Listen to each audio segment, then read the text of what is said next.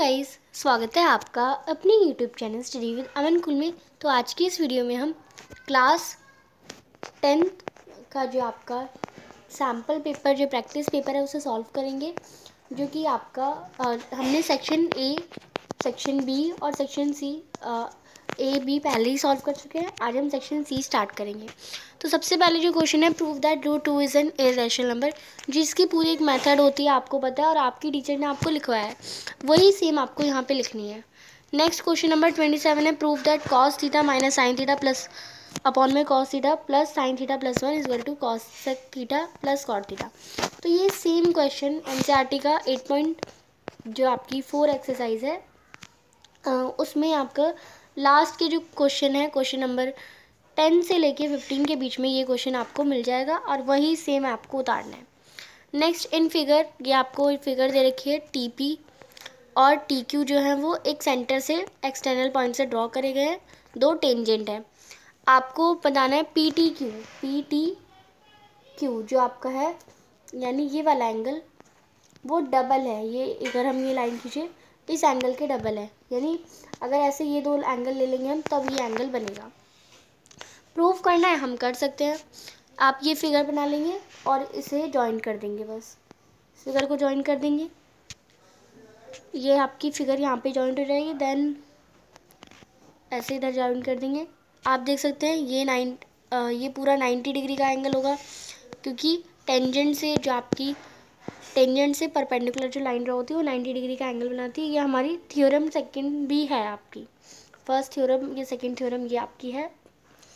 And ये वाला angle भी जो है सेंटर पे बन रहा है तो वो नाइन्टी डिग्री का एंगल है। ये इतना आपको पता चल गया इससे। देन हमें प्रूफ क्या करना है?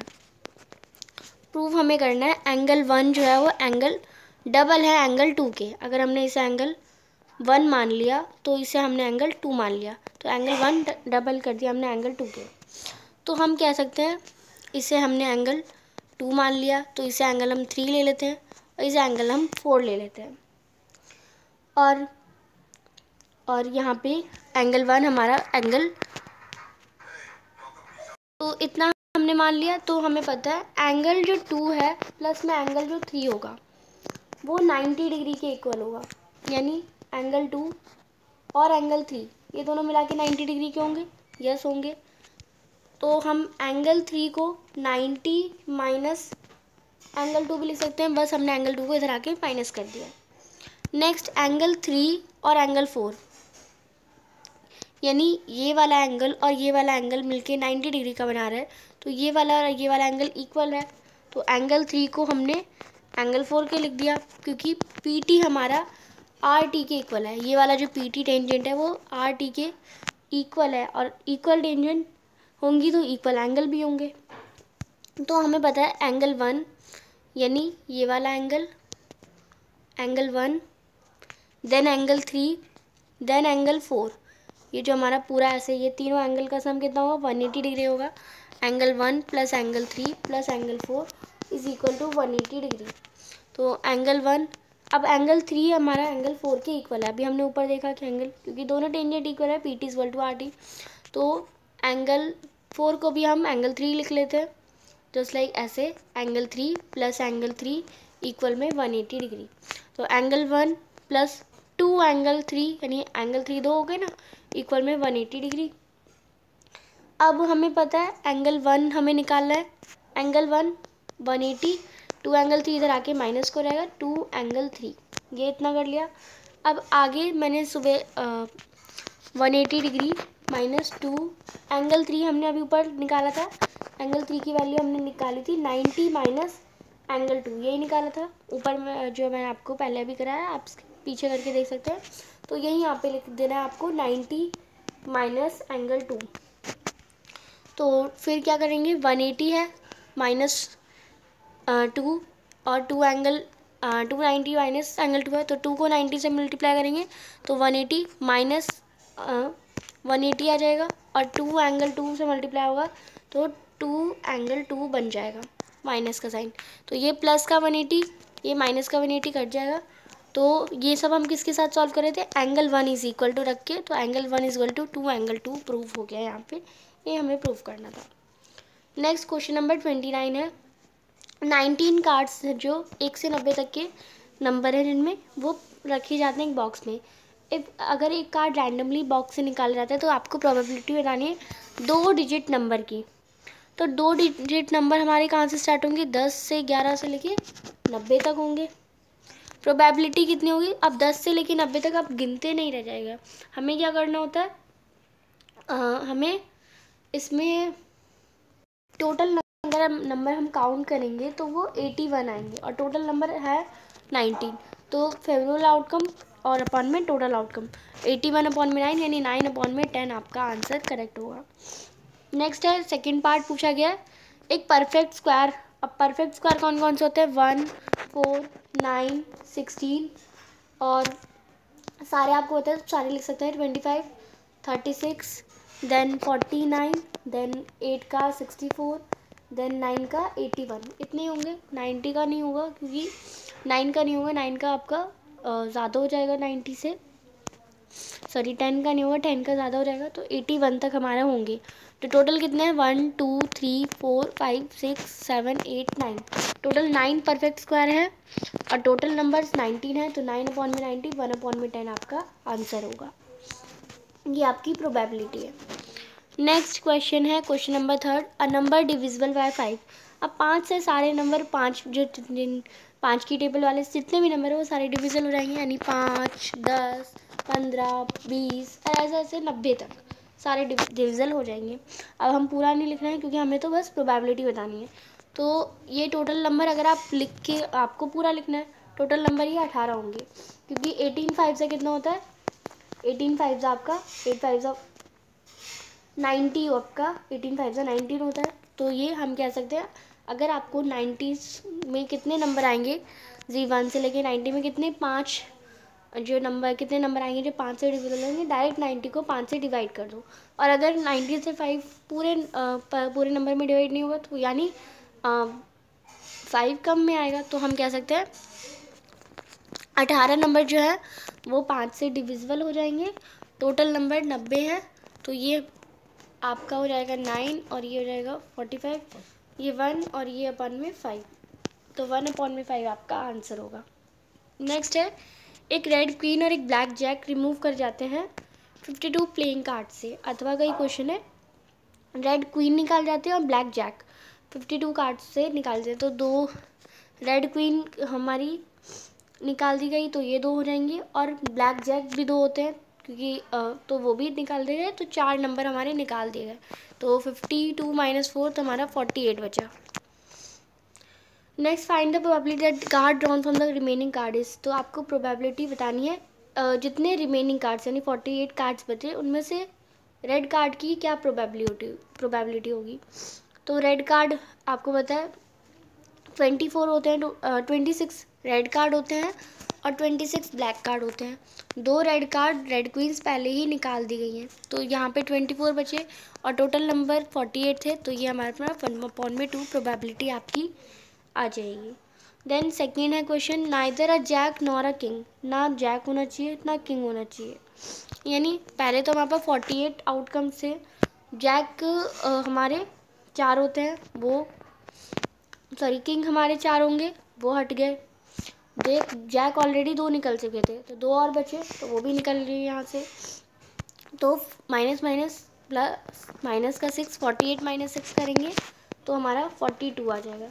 अब फोर्टी टू में से फोर्टी टू जो है मतलब ये हमारी प्रोबेबिलिटी आती फेवरेबल आउटकम यानी जैक और किंग हटाने पर फोर्टी टू टोटल होंगे, और टोटल है फोर्टी एट तो ये आपका सेवन अपॉन में एट से हमारा जो है कट जाएगा। सेवन अपॉन एट आपकी इसकी प्रोबेबिलिटी आ जाएगी।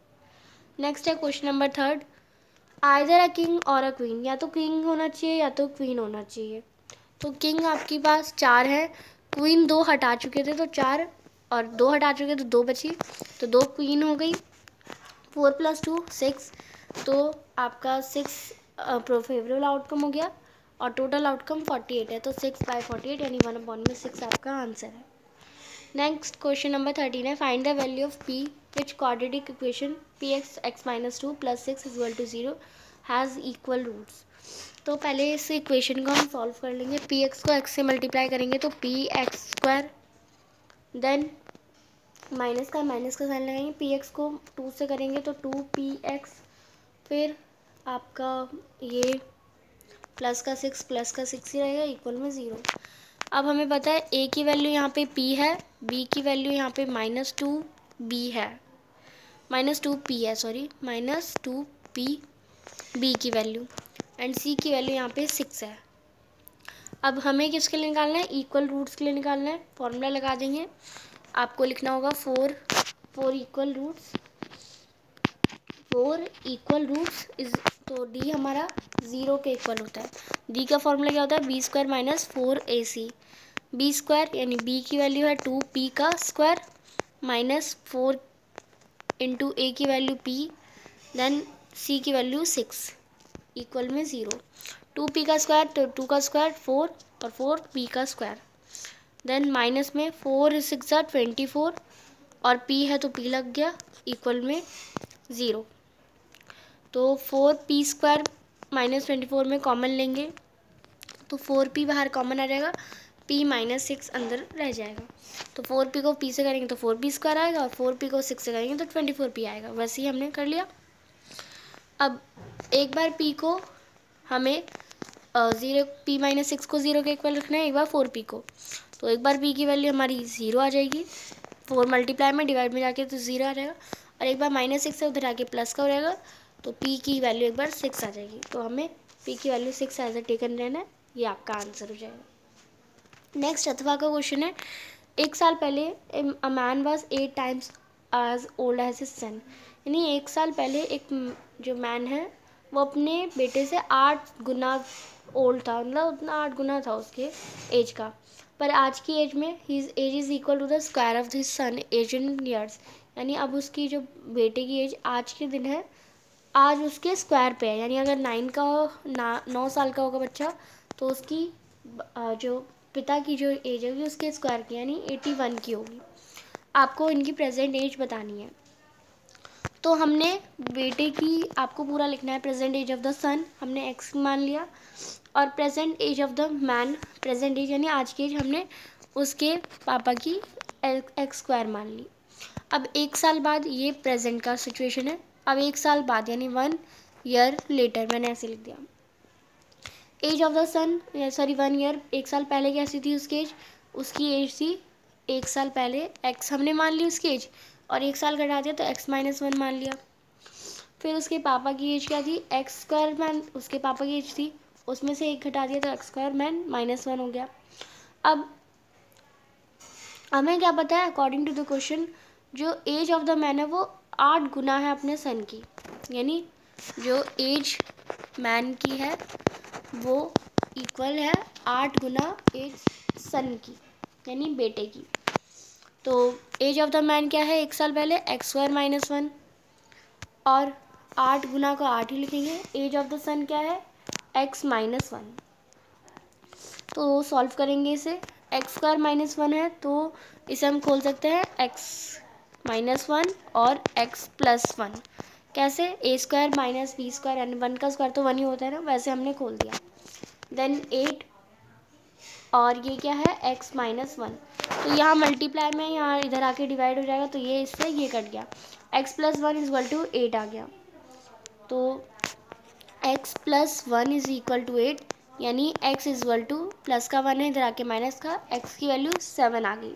अब तो हमें पता चल गया, बेटे की सन क्या है? मतलब बेटे की एज हमने एक्स मानी थी तो उसकी एज सेवन ईयर्स है।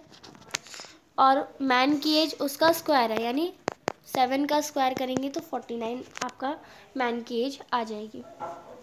नेक्स्ट सेक्शन डी है, वो हम अपनी नेक्स्ट वीडियो में करेंगे। चैनल को अभी तक सब्सक्राइब नहीं किया तो प्लीज़ सब्सक्राइब ज़रूर करें। वीडियो अच्छी लगी तो इसे लाइक करिए और दोस्तों के साथ शेयर ज़रूर करिए। Thanks for watching you bye guys